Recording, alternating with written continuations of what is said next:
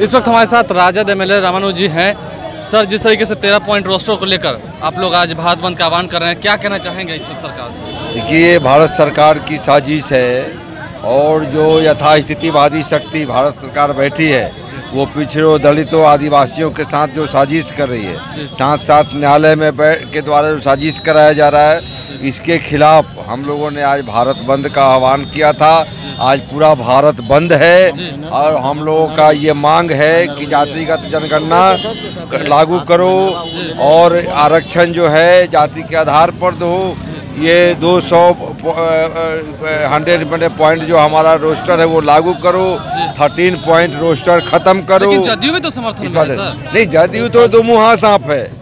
जदयू दो मुहा सांप है। आरएसएस और बीजेपी के गोद में बैठ करके जदयू सामाजिक न्याय की लड़ाई नहीं लड़ सकती वो शिखंडी के रूप में काम कर रहे हैं मुखौटा के रूप में काम कर रहे हैं बेचैनी में बयान देने से नहीं होगा।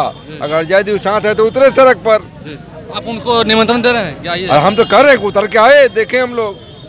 जदयू के लोग हम करें कि सड़क पर उतर के देखें लड़े बीजेपी से। सड़क पर उतरने का निमंत्रण दिया गया है। जदयू को आप तस्वीरें देख रहे हो किस तरीके से जितने छात्र परिषद के लोग हैं वो धीरे धीरे जुटने लगे हैं। पटना की सड़कों पर राजद की ओर से एक आह्वान किया गया था। भारत बंद में समर्थन दिया गया है। तस्वीरों से लाइव सीरीज़ आपको रूबरू आता रहेगा। यदि अभी तक आपने हमारे चैनल को सब्सक्राइब नहीं किया तो ज़रूर सब्सक्राइब करें। साथ साथ फेसबुक पेज भी लाइक करें ताकि हर छोटी बड़ी खबरों के साथ हम आपको रूबरू करा सकें।